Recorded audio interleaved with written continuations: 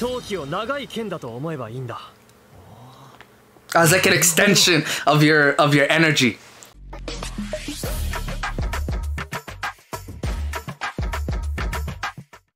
Hello, people. Celeviathan here, and we're back with another reaction today in a brand new setup with a brand new camera. Yo, this honestly took me like almost like four weeks to like set up and everything. I haven't recorded anything in so long, but I'm excited to just jump right back into it. So I'm hoping you guys like the new setup because it's definitely going to be a lot more comfortable for me, and I can stop watching things on my computer and can actually watch it on my TV. So a plus on that one.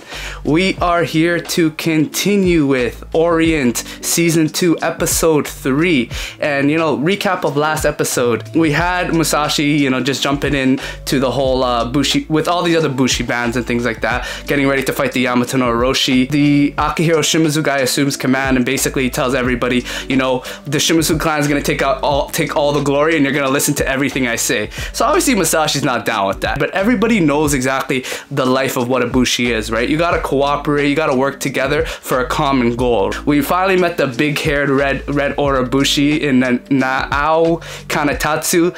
I keep saying Nanao or now, either one. He was he was awesome, man. The guy rallied everybody together, and they said that he was one of the top three Bushi, I think. So we'll, we'll, we'll see what happens in that one. But we're just gonna get started with uh, episode three over here. So don't forget to like, share, and subscribe. Turn on notifications down below so you know when I upload next and make sure you also check out the Patreon for full on reactions of this show and other things. But without further ado, we're gonna get started with Orient Season 2, Episode 3. Let's go. Alright, we're gonna get started with the reaction, guys. Um, just bear with me. A lot of this new setup is still a bit of a learning curve, so I'm still trying to figure out how to do everything and navigate around it. This is the first reaction that I'm doing with the new setup, so we'll, we'll see what happens. ここは懐かしいな買って知ったる城だろ 俺たちはガキの頃から密に交流を重ねてきた。日の本の5つの大武士団の跡目として。で淡路島奪還作戦の守備は？悪くねえ。金達の働きで第二陣第三陣が島に Yeah, he definitely did, man. He, he put in some work. 黒曜の女神が見つかった。Yo, they know about the obsidian goddess? だが敵にも嗅ぎつけられたらしいあの黒犬どもかヤマタノオロチの降臨に乗じて黒犬かもしくは黒犬の手先が上杉を切り崩しに来るだろなら俺は城を立つう直太郎援軍を呼びにな This episode's gonna be interesting. I didn't know they were hunting the obsidian goddess too. I thought it was the obsidian 8 were the only people hunting down that goddess. That's, that's gonna be crazy interesting now. 仲間に乾杯 Man, these two are having the time of their lives, man. Yo. Oh, damn. It seems like there's some serious internal strife even in the Shimazu band. Nobody is down with Akihiro. 武蔵君がどこにもいないの逃げ出したのかもなあんたたちのせいでしょ ええ君陶器をつないで戦うことも知らないくせに武士団の仲間に上も下もないとか大口叩いてたの。バカか？仲間に。その雑魚はいないものとして扱え。戦場じゃまるで使い物にならね武士団はお友達ごっこじゃねえっつうの。じゃあな勘違い野郎。その they called him Mr. Delusional. Yo, if that is not disrespectful, I don't know what is. どうせいても足手まといになるだけだし小次郎とつぐみを探してここからでで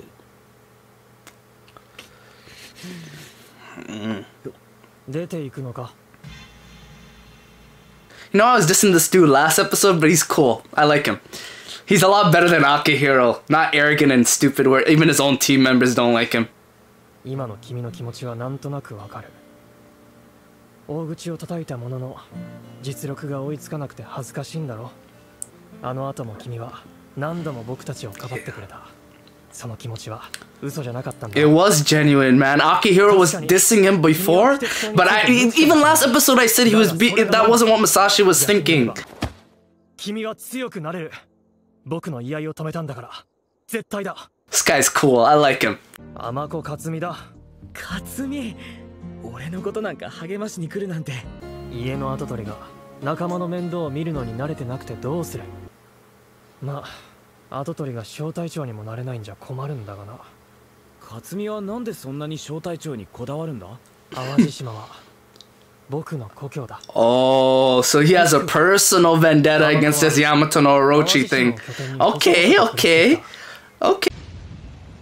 鬼の侵攻で帰る場所を失ってしまった鬼に故郷他の連中だって何かしら戦う理由があって That makes sense why he would want to be squad unit commander, though, right? 最強の武士団作ろうぜ Yeah. We came here to fight. We came here to fight only, man. We we, we can't. 何の役にも立たない次第一陣直江軍第一島津小隊隊員が一人足りないぞ 武蔵ってやつは欠員です Nah, he's nah, he's not gone.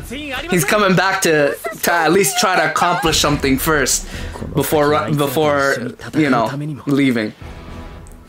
今強くならなきゃな決めたんだとことんやってやるぜ He's gonna train 受けるときは歯を垂直に当てろ and learn about this blade energy thing. わかるんだ昨日の優しいこいつとは別人だな。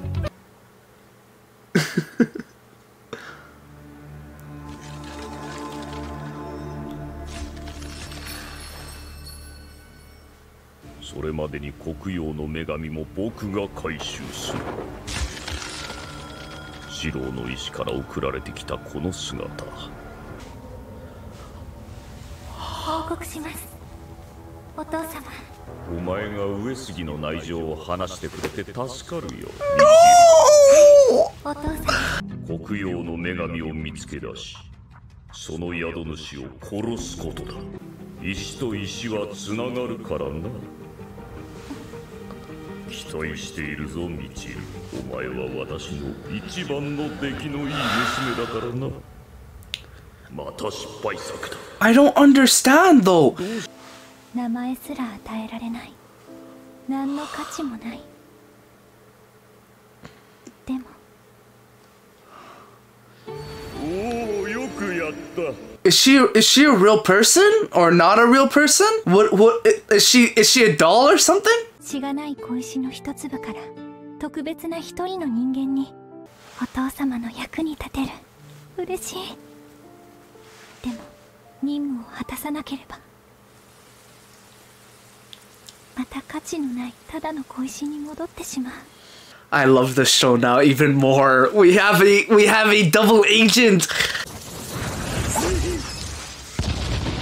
避けるなと言っているだろだって当たったら黒焦げだぜ。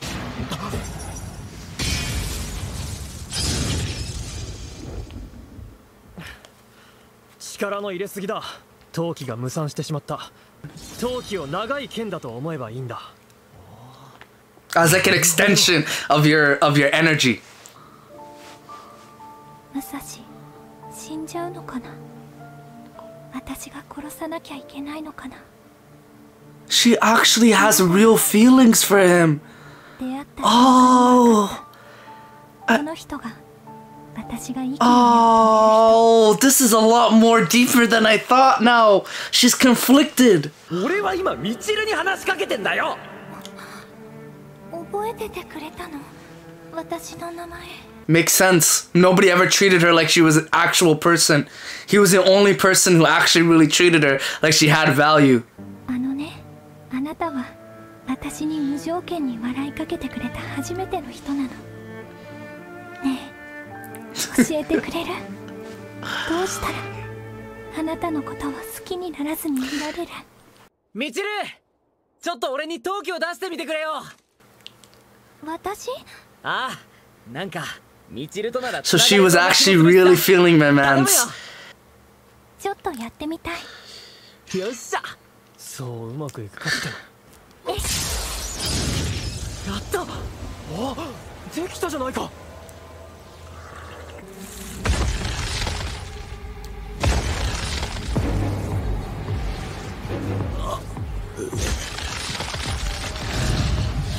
No, what's going on here? Oh no, is the connection being corrupted? 刀の試しの時と似てるまさか武蔵の身に何かあったのか So the obsidian goddess is still inside Masashi then, I guess, eh? Sh- Deep inside, hiding. あれなんだここお父様に見つかった逃げなきゃ取り押さえろ Like Black Katetsu look cool as hell. and this guy, this lady from the opening, she looks like such a badass.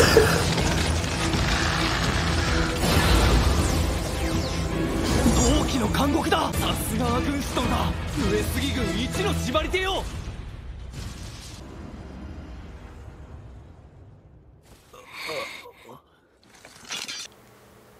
この者どもを尋問してみてダメ武蔵まで調べられたら黒曜の女神が見つかっちゃう Okay, there, there's there's definitely has to be a lot more going on here. 武蔵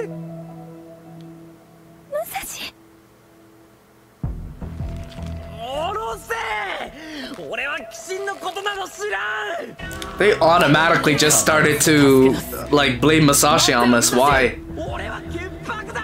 I don't I don't know what's going on with this whole Michiru thing. Like, who is she?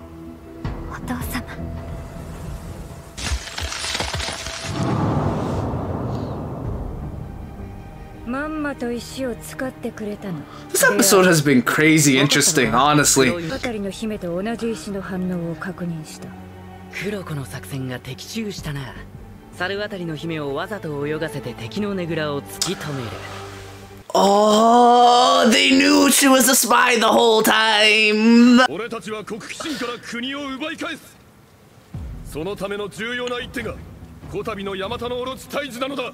奴の武器はあらゆる攻撃を跳ね返す特殊な防御壁。最強の矛盾だ。八つ首にある8本の角を全て折ればヤマタノオロチは死ぬ。これを1本でも折った者には上杉家が城塞をもって報いよう。ああ島津正体悪いがお前たちは城で待機だどういうことですか直江様島津正体の2名にとある容疑がかかっておってな I don't know why they were thinking Masashi's a spy though. とは無関係だと証明するしかない It was a lie though. It was it was all a play.